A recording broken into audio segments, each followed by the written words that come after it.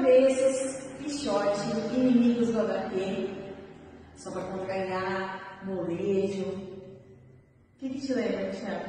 Me lembra os melhores pagodes que eu já ouvi na minha vida dos anos 2000. E não faz sentido nenhum que não temos mais pagodes como aqueles atualmente. Essa é a temática desse vídeo, vem com a gente que você vai entender muito mais.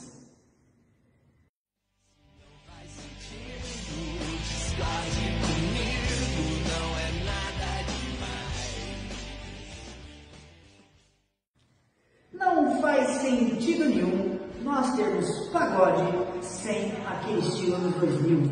Sofrência, aquilo que fazia lembrar dos prometidos, aquela era a sofrência da nossa época. Não, Fernando, isso aí, Michel. A gente foi lá nos anos 2000 pesquisar o que a gente ouvia, na minha época, né? Da minha também. Saudades. Convicção em falar qualquer coisa boa pra vocês. Saudades daquela época. Ainda temos alguns sobreviventes Sorriso Maroto, Última Nativa Pichote, mas com menos intensidade, aquela música, aquele pagode meloso, gostoso, que me fazia chorar na adolescência, como esse aí, que a nossa produtora Fátima Rosélia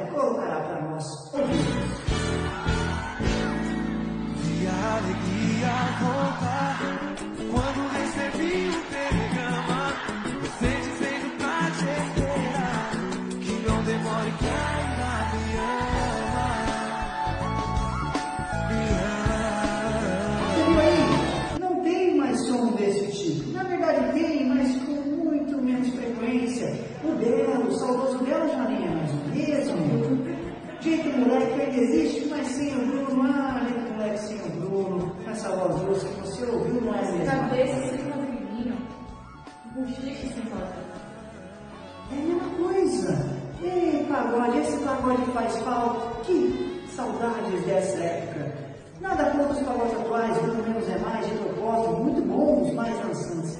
Mas eu sinto falta e acho que não faz sentido nenhum não ter esse pagode de sofrência dos anos 2000, não é, Fernando? É, e até a gente não é, não é que não tenha, é porque assim, não tem uma repercussão boa, uma aceitação do público, eu não sei o que é. Não sei se os compositores não estão mais com aquelas inspirações, o que você acha? Eu acho que os caras desistiram do amor. Lembram do Sampa Crio? Ah, a música que fazia sofrer mais era Sampa Crio. Oh, delícia! Os caras não estão mais tão apaixonados, estão focando no sertanejo. Volta a fazer sofrência pagode, volta. É, Michel, é, semana passada a gente falou de Tacho, anos 2000, né? E aí a gente puxando ali os anos 2000, que o ano dos anos 2000 foi inesquecível, a gente puxou um pagode. Foi o pagode que a gente falou no outro bloco, foi o vídeo moleque, né? Sobrenatural, uma música sensacional.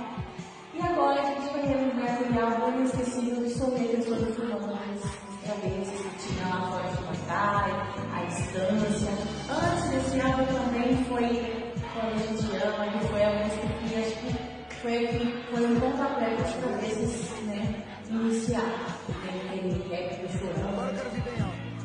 Foi espetacular. Mas vamos lembrar um Soleiras do Fulmanas, Fafá? Solta aí pra gente, por favor.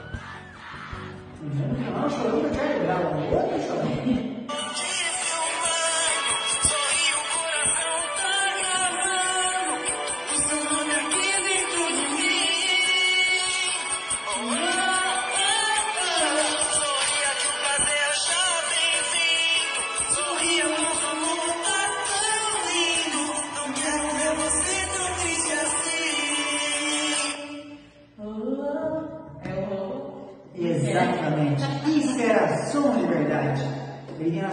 assim, pode dizer tá tudo errado, deixa logo ser seu namorado, o resto do destino é quem diz. Ei, acabou, eu quero ver, eu quero ver esse pagode, esse pagode que era bom. Essa era a sofrência da nossa época, saudade disso, saudade dessa música que acalentava meu coração na minha adolescência, mandei muito pra velhinha,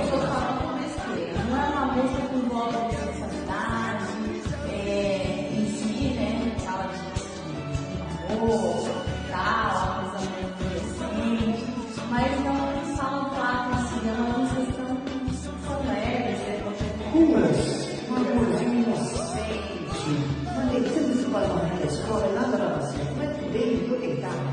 Coisa boa, oh, coisa boa. Vamos lá, pessoal, vamos, vamos, vamos, vamos, vamos. Todo mundo chamando na boquinha da garrafa.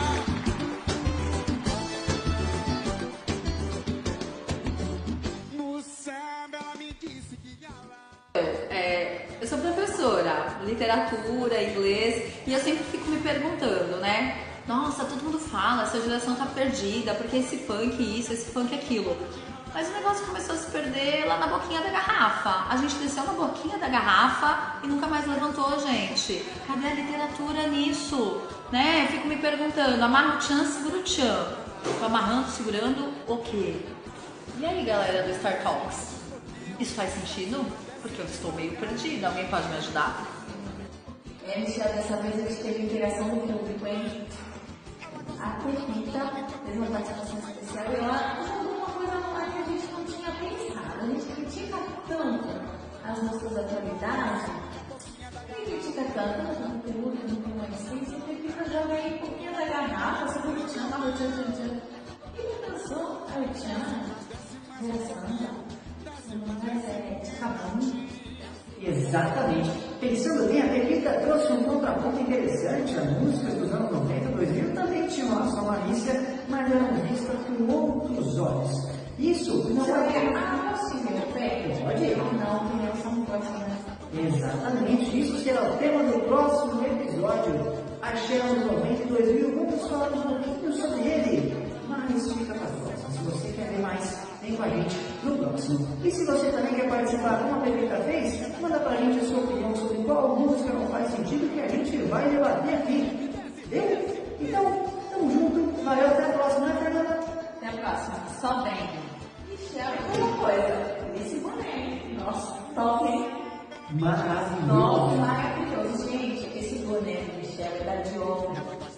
Chama lá o pessoal da Diogo. É arroba underline Diogo. É isso então. Exato. Arroba underline Diogo. Vai lá, vê os modelos maravilhosos que o Juninho manda aqui, ó, pra PG. Gente, ó, tá? Nossa, tá lindo, Michel. Tá lindo esse boné. Me deixou mais bonito, meu parceiro Juninho Soares. Se você quer ver outros modelos disponíveis, a Bíblia fala assim, segue ele, vai lá, confere ele entrega para todo o Tá Brasil. aqui, ó, lá. Exatamente. E falando em seguir, não esqueça de seguir as nossas redes sociais se você está curtindo o nosso trabalho, para ver muito mais conteúdos como esse. Nosso Instagram, você já sabe, arroba Startups TV. Facebook também, Startups TV, né? YouTube, a mesma coisa, bebê. Startups TV. Vai lá, se inscreve para você receber as notificações de todos os conteúdos que vêm por aí. Fechado? Tamo junto e até mais. 拜拜。